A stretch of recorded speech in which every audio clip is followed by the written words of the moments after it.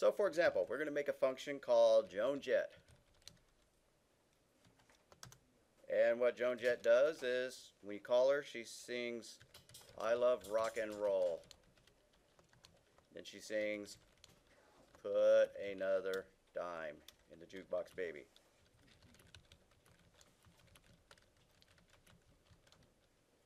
Now I'm just doing this in a shell. I didn't actually do file new and create a script, but normally I would. But this is just to show you. I inserted a blank line and stopped defining that function. That every time I call Joan Jett, she tells me I love rock and roll, put another dime in a jukebox, baby. And I can do that over and over. I can sit there and do this for hours if it entertained me. No, I don't think I will. But you get the idea. It's a series of statements that have a name, and you invoke it by its name. So this is the function name. This is the body of the function. You create a function with the DEF keyword. Every function has to then have parentheses after the name of the function. Now, whether there's something in the parentheses or not, you get to choose. And then there's a colon. So all of this is necessary in order to define a function. The DEF keyword, the name, the parentheses, and the colon. And just like anywhere else that there's a colon, like an if statement, you have to start indenting. And everything that's indented will be part of the function.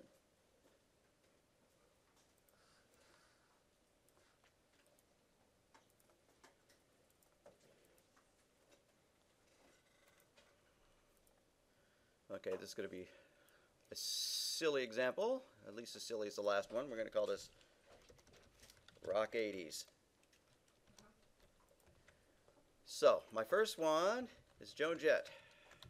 I love rock and roll. Everything indented is part of that function. When I stop indenting, it's no longer part of that function. Now I'm going to define a new one.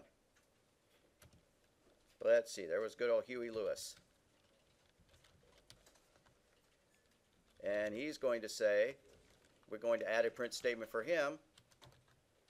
The heart of rock and roll is still beating.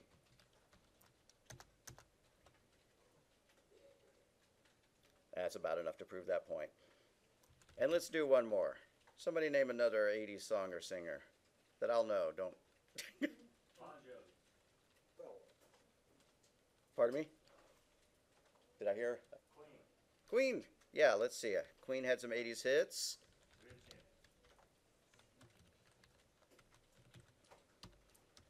Queen had Radio Gaga, from which Lady got her name, but they also did another one bites the dust and stuff like that. So we'll just go with Crazy Little Thing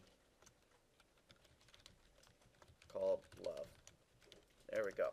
So now, whenever I want to invoke them, I use their function name, followed with the parentheses.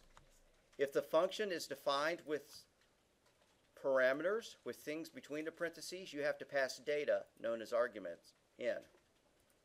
But Joan Jett doesn't have any parameters, so we don't have to pass any arguments in. Good thing because I don't think she would like very many arguments. Then Huey Lewis. We will invoke Huey.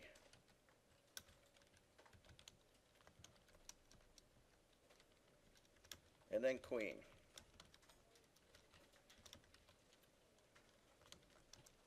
And we can invoke these in any order we want. We can do them in reverse order.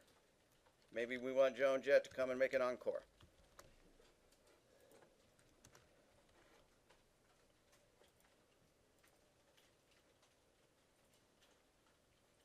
So I ran it and it said, I love rock and roll, put another dime in jukebox baby. The heart of rock and roll is still beating. Crazy little thing called love. I love rock and roll, put another dime in jukebox baby. That's the idea of functions. Now, making it just print silly things is, you know, obviously not really important. But the idea of functions gives you a great capability to expand your programs because you can put a whole bunch of stuff in one function.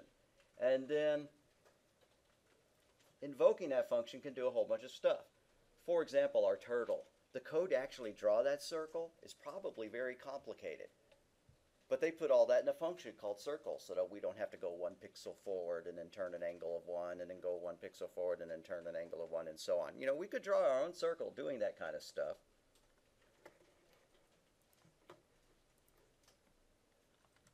Just for grins, we're going to tack on a circle drawing code down here.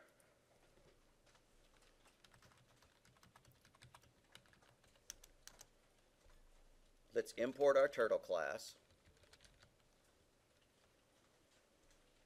Let's make our turtle. Leo is equal to new. No, sorry, I slipped into Java C++ there. Leo is equal to turtle with a lowercase t dot turtle with an uppercase T.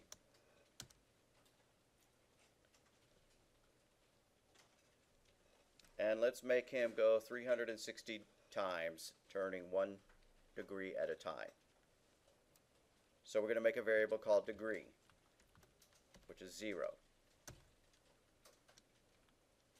While degree is less than 360, we're going to repeat these functions. Leo is going to go forward one pixel, and he's going to turn one degree to the right. And then we're going to add 1 to degree. Degree equals degree plus 1. There's a shortcut of that. We could just say degree plus equals 1.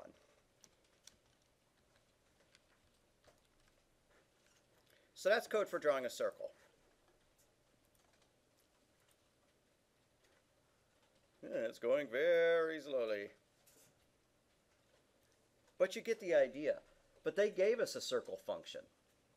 And the circle function does this, but with a specified width. You know, it does require geometry in order to figure out what the radius would have to be. I don't know how to figure that out. If I wanted to draw a radius of a certain, you know, 200 pixels wide, I wouldn't know how to convert that into this code in order to accomplish that.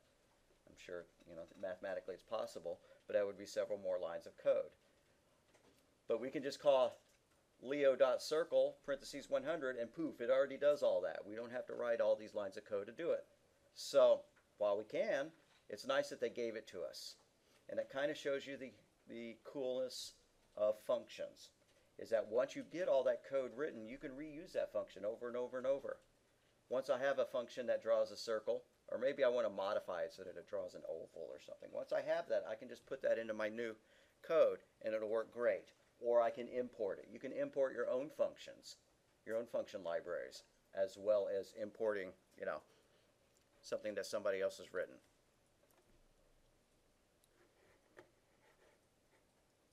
How would we have sped this up if I didn't want to wait so long?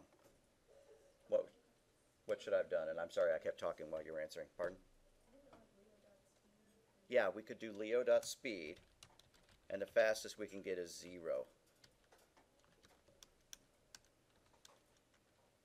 And we'd want to put that before we started drawing, because if we put it after we started drawing, then he'd only speed up after the race was won. Oh, that's still pretty, pretty lame. Maybe it's faster than it was before, I don't remember. Okay. So, that's how you define a function. DEF, the name of the function, any parameters that the function needs, and its statements. We can make up pretty much any names that we want as long as they follow the rules for legal identifiers, which is you can't begin it with a number, and there can't be any spaces, and there can't be any weirdness like percent signs or uh, in the function name. Just like with variables, you can't start a variable with a number, and there can't be any spaces in it, and there can't be any weird symbols. And by weird, I mean anything other than underscore or dollar signs. You can put any number of statements inside the function, but they all have to be indented. Once you stop indenting, it's done. Here's this text example for a draw square function.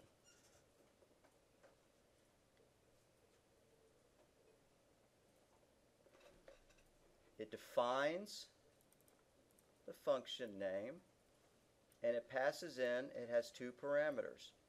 One stands for turtle. We would pass Leo into this function. The other stands for size, how big of a square we are drawing. So we could add this onto our code pretty easily.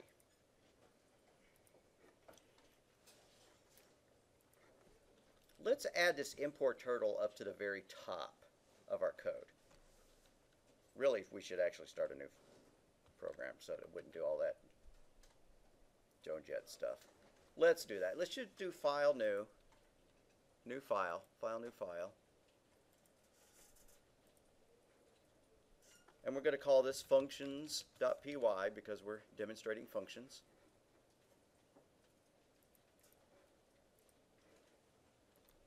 The first thing we want to do is import our turtle class, our turtle library. But now we're going to type in that code that they have. I could do it by memory, but I may as well look at it.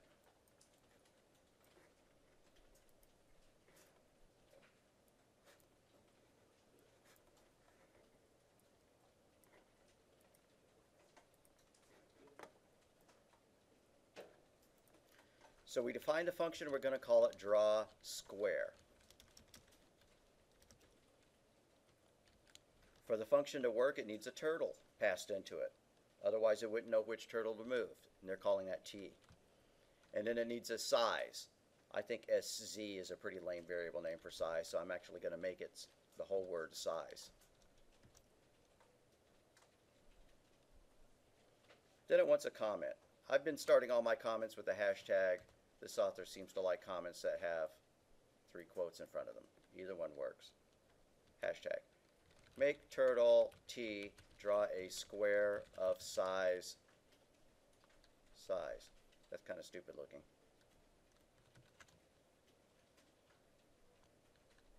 Now I wish I'd chosen a different variable name. They're using a statement I don't think we've covered yet, which is the for statement.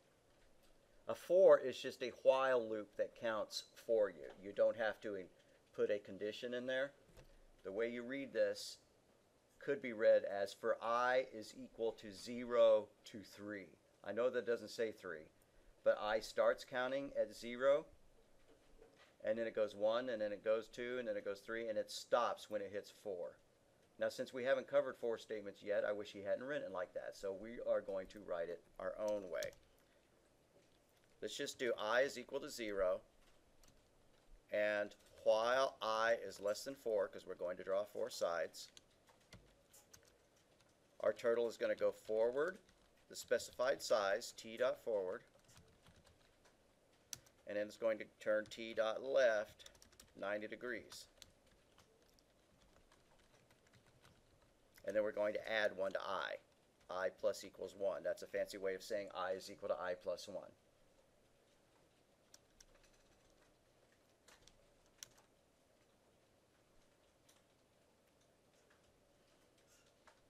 All right, now let's create our turtle. He likes the name Alex. So Alex is equal to turtle.turtle. Turtle. We stopped indenting because now we're no longer in the function. And we're going to say, hey, I want to draw a square. Which turtle do I want to do it? I want Alex to do it. And I want it to be a square of size 50.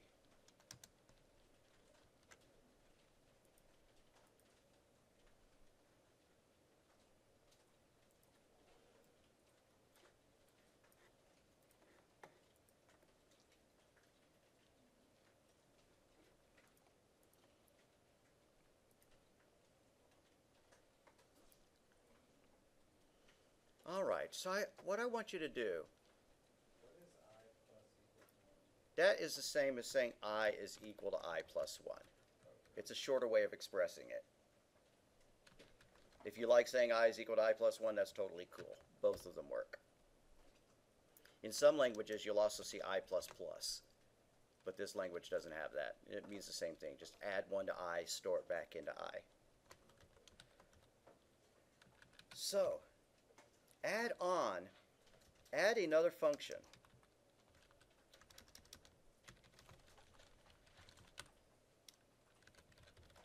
called draw triangle that draws three sides with a left angle of 120. So just copy and paste this code and change it to draw triangle. And then call it down here draw underscore triangle. Alex, and we want a big triangle, sides of 100. So I'm going to leave this part for you to do, but you know that it's going to start with the word DEF and then draw underscore triangle. And then it's going to look a lot like this, except I is going to go only go up to 3, and our angles are going to be 120 rather than 90.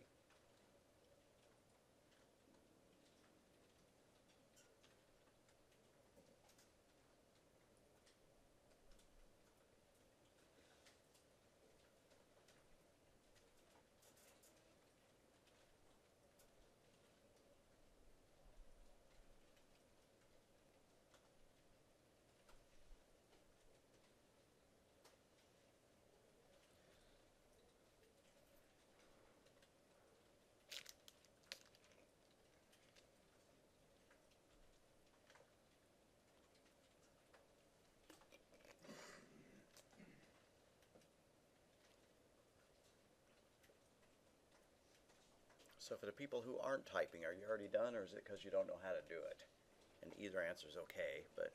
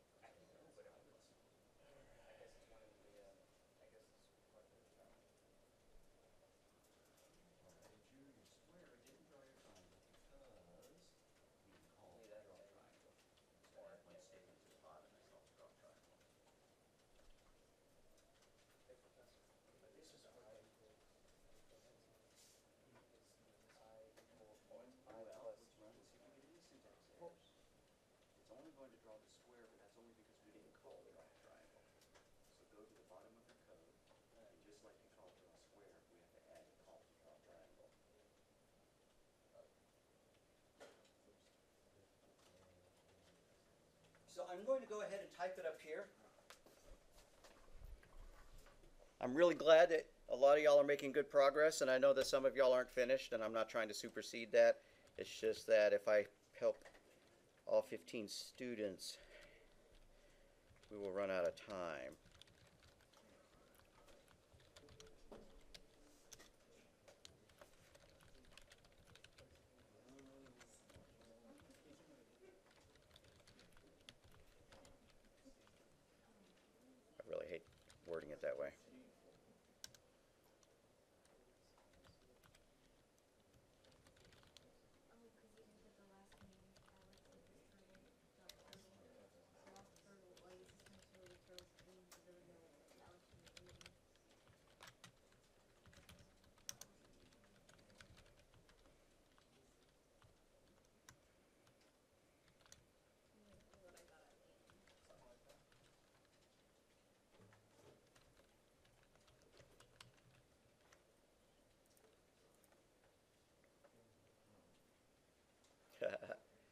Forgot to change it to 120.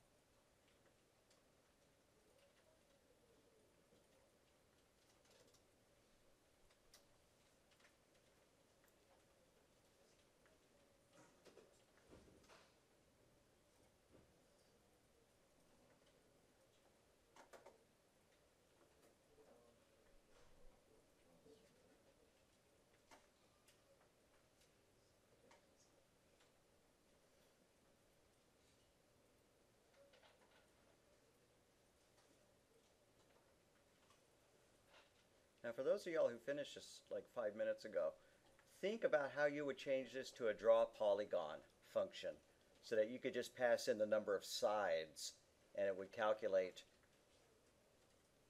what changes would you have to make? So you pass in the number of sides and it would draw a triangle. I mean, it would draw a polygon of three sides or five sides or ten sides or whatever.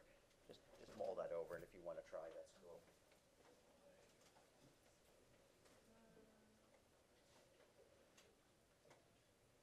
I get all the good stuff in English.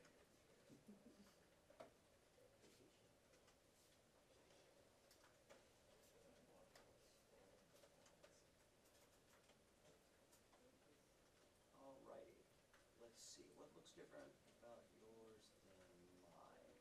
For one thing, I see a lot of quotes. Oh, well, just for the, from that. Right, Don't put quotes in when you're specifying values. Another is it doesn't look like you put the code in functions. We have a draw square function here, our draw triangle function ought to look exactly the same as this. So, here's what a draw, one example of a draw triangle function.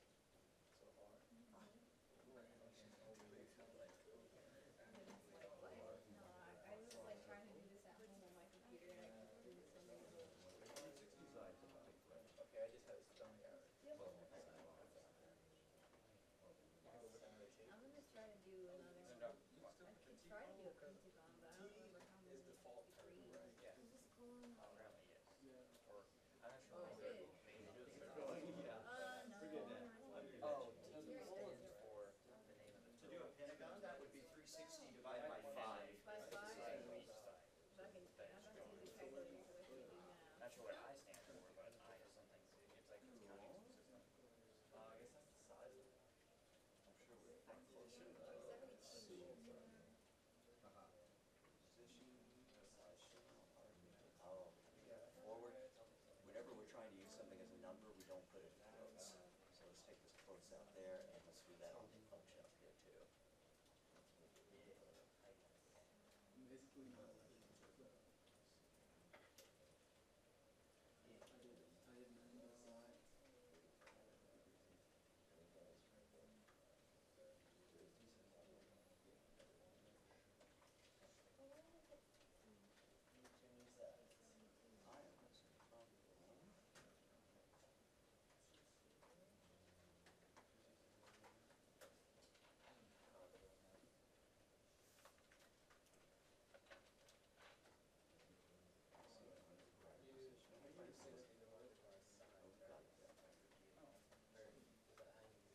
I am listening from home. Yeah, well, get, get the, how many, how many sides is getting. We put it on, like, one. Yeah. Should not change it. But the bottom is like, Oh, wrong. I didn't put the size for my thing, the. Pentagon, Well, uh, did undo the changes I did now. What happened is, is that when we create a new I object put of a seventy-two, type, and then I think I'm gonna do a those in Joseph one, I think that's or what else it's it doesn't called. actually create it. Get rid of your right. So this is what it came out with, hopefully I get this. There we go. this time. Alrighty, guys. Some people added hexagons and pentagons and stuff. That's cool. But let's make one that's generic, that can handle any number of sides.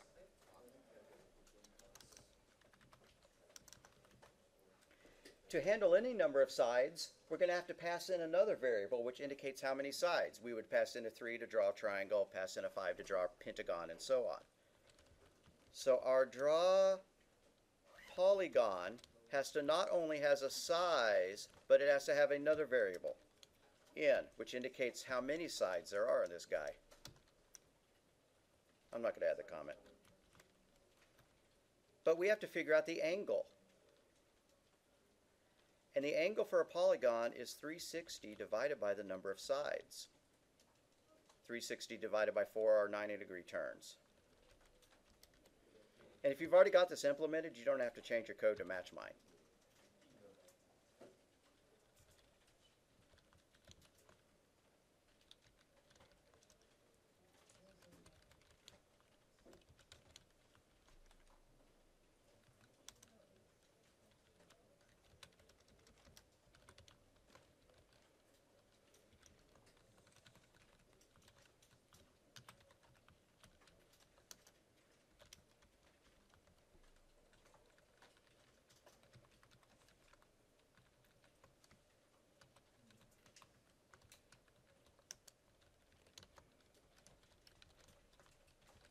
So when I invoke draw polygon, not only do I have to give them a turtle and a size, but I have to specify how many sides. So let's do a hexagon that are 75 per side.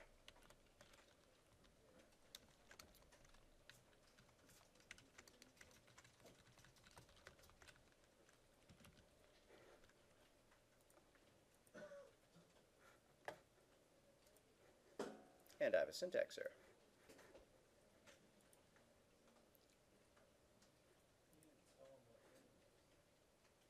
In is not defined. Okay, that was dumb. I typed in there and that should be actually a real number.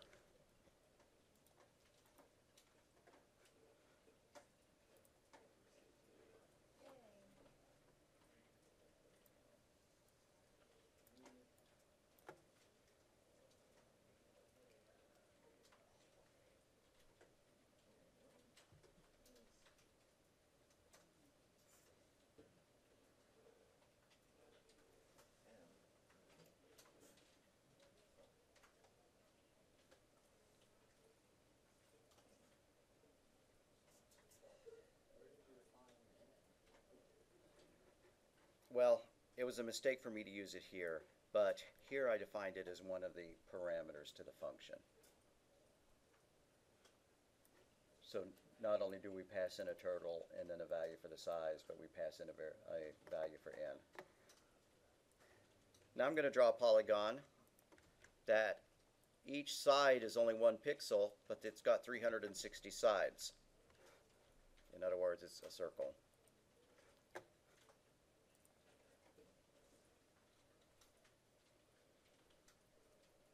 And it runs very slowly, but it proves the point.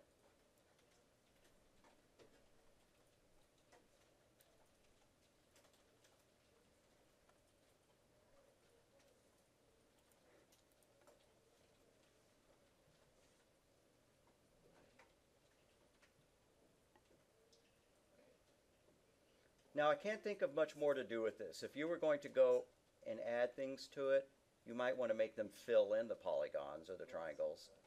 In which case you would do t dot begin underscore fill, and at the end of it you'd do t dot end underscore fill. But that's about the only change that I can think of that would make it more fun.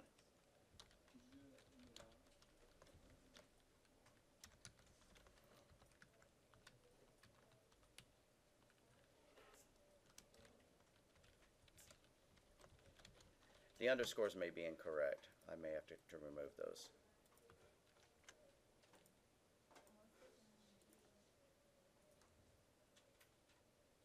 Nope, they were okay.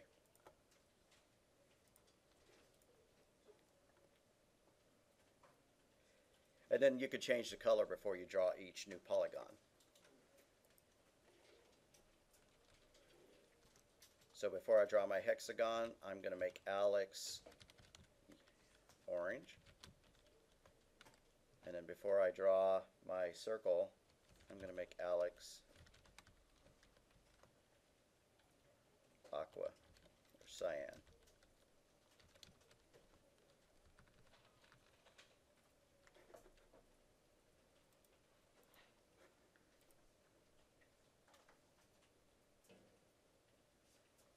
And of course it's going slow as molasses. We should speed it up with a speed command. Alex.speed, set it speed to zero.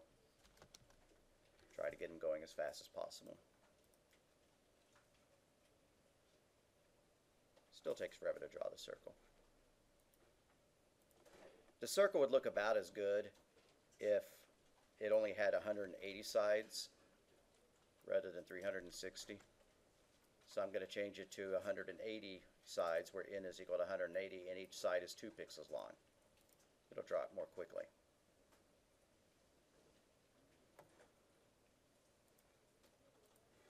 What if we tried 90 sides and each one had a side length of 4? This is a rougher and rougher approximation of what a circle looks like, but it still looks okay.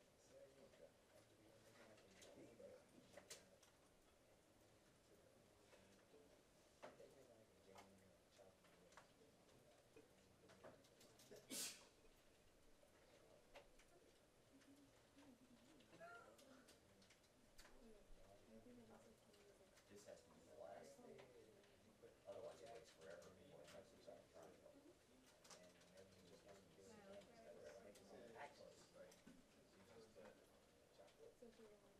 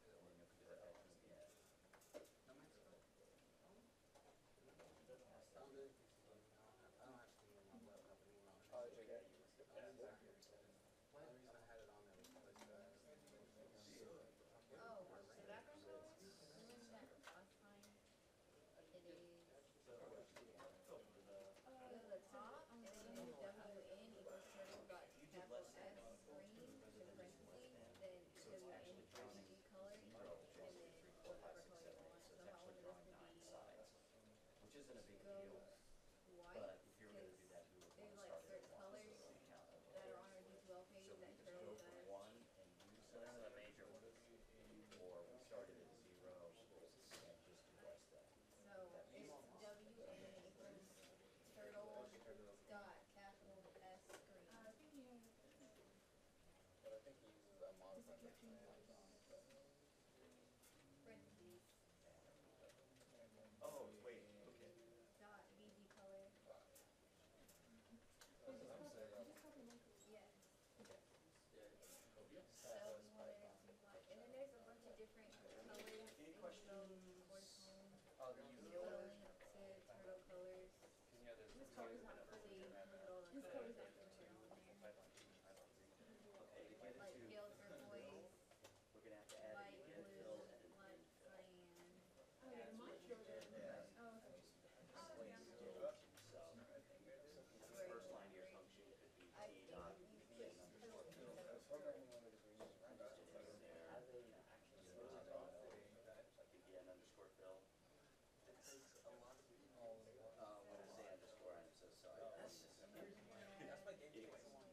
just like she's got here.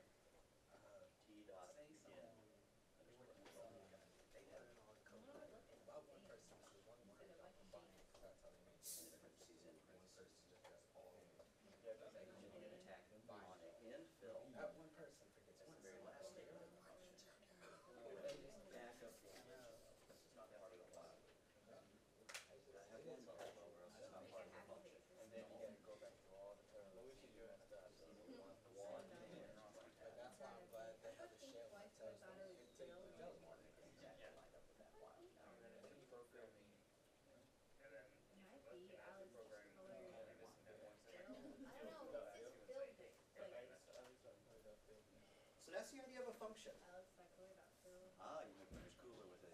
Oh, you're working on the other one, okay. Yes. But you got this function working, the uh, Yeah. polygons and stuff like that, okay. Uh, how did you fill your shapes when you did it? I added this oh, line and I added this line. Begin fill and fill. Okay. Right, so if you want to add the thing where it fills in the colors, just tack these two lines of code into your uh, draw polygon shape. Yeah, I snuck that in there. Sorry about that. Some people caught it, a lot didn't.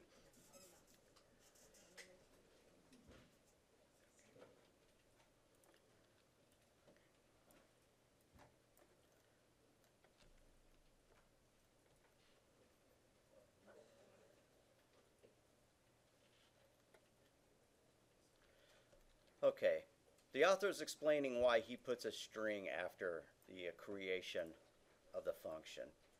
He says that that's called a doc string, and that certain uh, utilities that you use with Python would use that.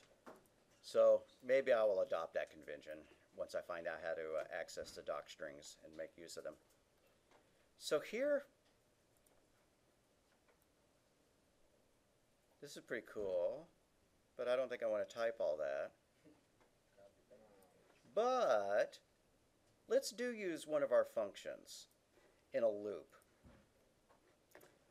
So I'm going to comment all of these stuff out with three double quotes. Then I'm going to go down here and do three double quotes again. That begins and it ends the comment.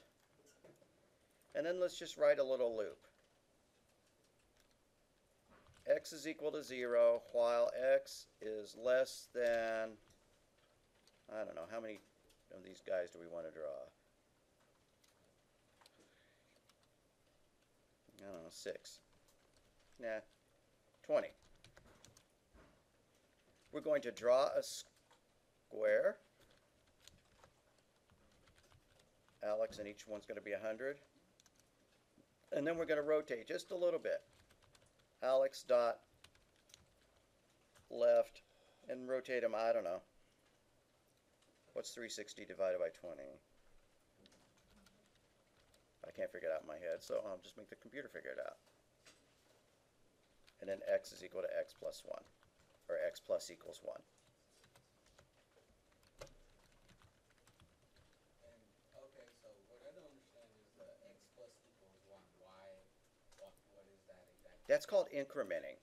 It takes the value of x, it adds 1 to it, and it stores back into x. It's just a shorter way of typing x is equal to x plus 1. Uh, Okay, but why do you put that there.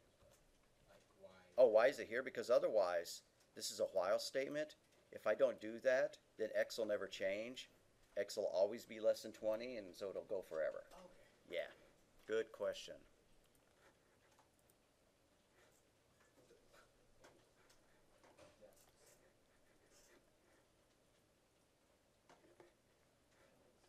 That was kind of neat.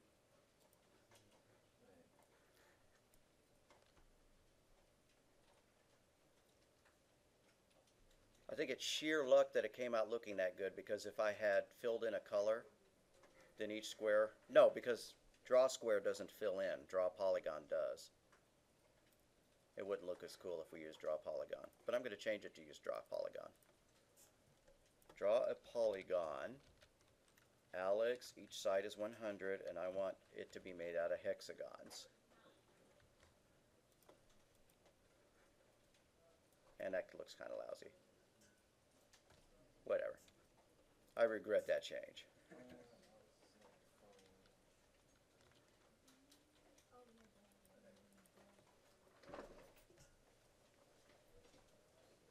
So you can see how useful functions are.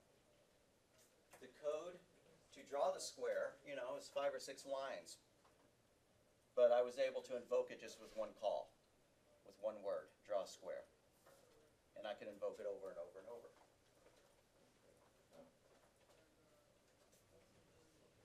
That looks like we don't have. Okay, let's see. I don't know. Did you put the x plus or equals one? Oh, that's why. That's why it's still good. It's bad. I haven't seen it yet. Oh, I did, I got that. It's typo. X plus It's like it's not turned. X equals plus one. It's not even a draw square function. Oh, I see. It did before, right? The address is Alex. before. Yeah, it was all like full part of this. That looks awesome. Hard code. Now delete the 360 by 20. This is stupid. We shouldn't have done this. But uh, change that to like,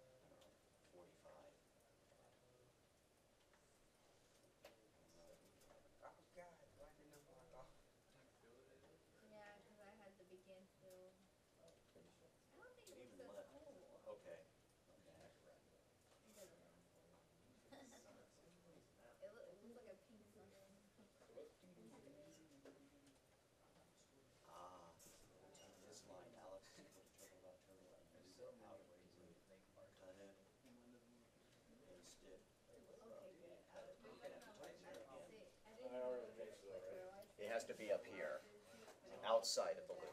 Oh. So what I was doing is making a new turtle each time. Oh, grab scarf, and like scarf is Yeah. So just grab, I already have a case no, I don't see it, so, Well, I kind of was. Okay. Now do.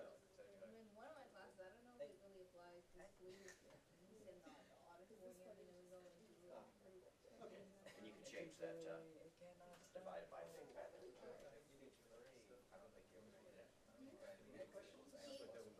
Oh, triple break. It's cause you left an And then you extra, gotta go shot. and stop it or else all that. you left seventy-five. Oh, so I was gonna do that till I reaches seventy-five. Oh, I'm gonna You're gonna do that, seventy. Yeah, you guys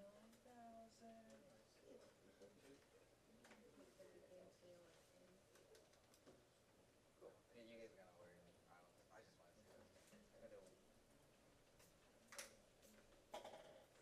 I think you're booking. Whoa, that's cool. Why is it still making three though?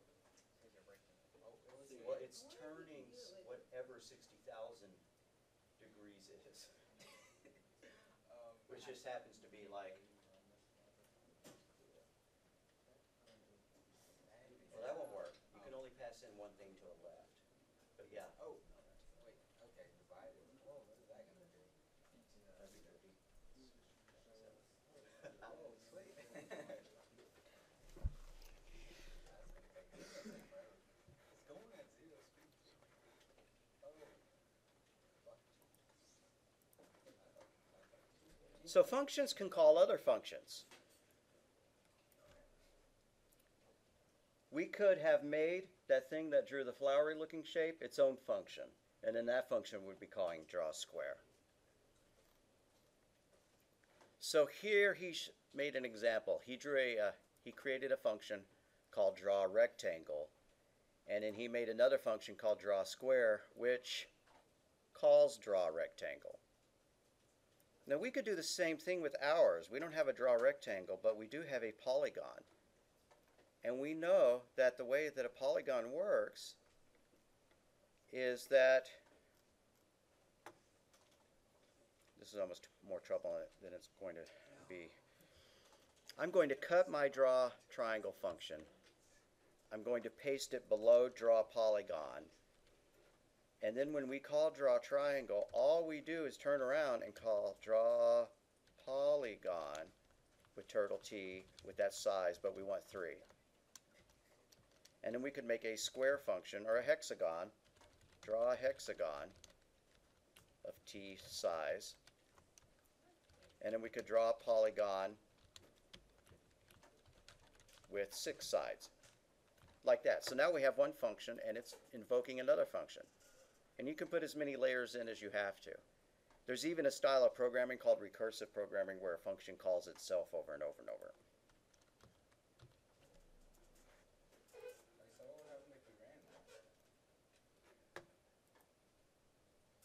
If I ran this code right here, it would work okay. For example, draw hexagon. I want a hexagon that is, you know, got us Alex the turtle, and each side is 75, 76, whatever. It'll work. Hopefully.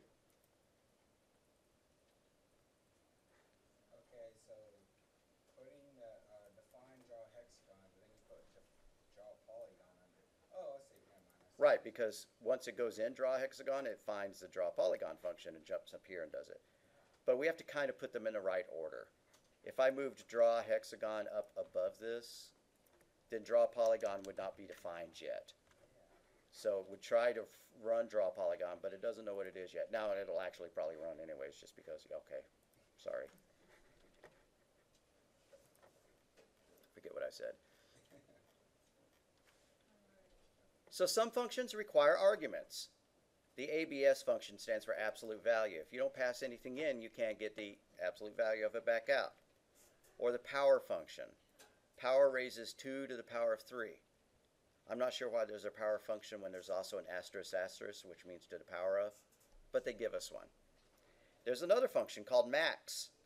Max will take the maximum of two numbers that you pass it. So go back to your shell. Yeah, the shell's all messy now. Close the shell and open up a new one. Go back to one of your editor windows and do, instead of running your module, do run Python shell. And we're going to try some of those. Hope you saw that. What I did is run, and then rather than run the module, I did Python shell. Run Python shell. So I want the absolute value of 7. It's 7. The absolute value of negative 7 is still 7. I want the maximum of 3 and 5.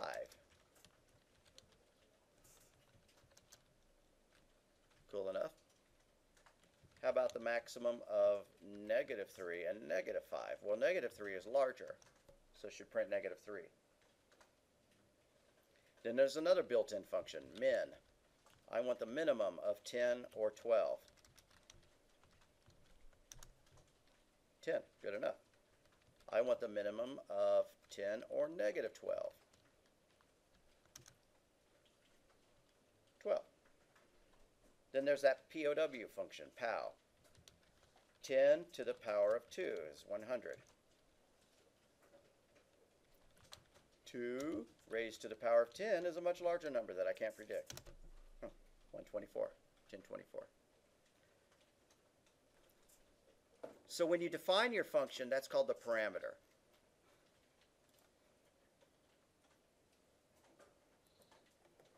Where's my original? T is a parameter. Size is a parameter. But when you call the function, they're called arguments. Alex is the argument. 75 is the argument. Very similar meanings, and sometimes you, you know, it's, it's okay to, to mix them up when you're talking about them but it's arguments when you're invoking the function, it's parameters when you're inside the function. So t is a parameter, but Alex is an argument. Size is a parameter, but 50 is an argument.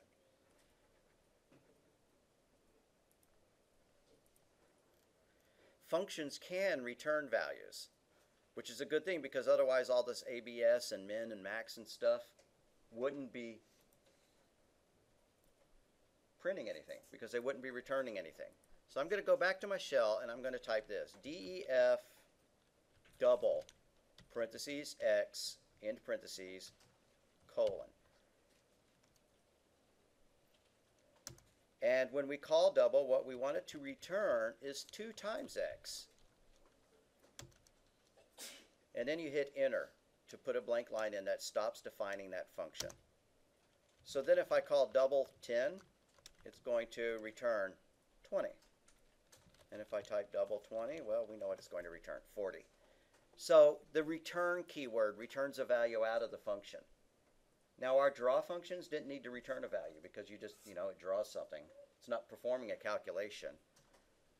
But when you're returning a calculation, like you're calculating interest, or you're calculating somebody's paycheck or bonus, you know, something like that, that's when you write a function that has a return value. If it has a return value, some people call it a fruitful function.